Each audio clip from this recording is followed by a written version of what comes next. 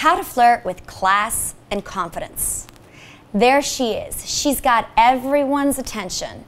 Any man within 100 feet of her is listening to every word she says. She's got them enthralled. They're hanging on every word.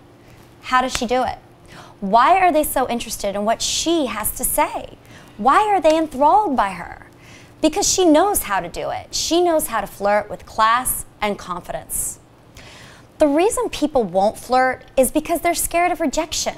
Flirting, same as every other topic in dating, starts with confidence. You must have the confidence and be brave. And if you and you must wear something a little bit sexy, but not too sexy, otherwise you'll be slutty. You see someone across the room that interests you. First step, eye contact. Look at them and catch their eye. Don't stare or they might think you're a little bit weird, but catch their eye and look away. It's okay for them to know you may be interested, but the key word is maybe. Let them wonder, smile with your eyes. Then it's a new age. If he doesn't come to you, approach him. Men are hunters and they need to hunt you, but it's okay and hot for women to approach a man with a simple hi. You will know right away by his body language if he's interested. If he looks away and has a negative look on his face, move on, no biggie. Say he looks like someone you know from college. But if he's thrilled to have you there, you'll know. Proceed.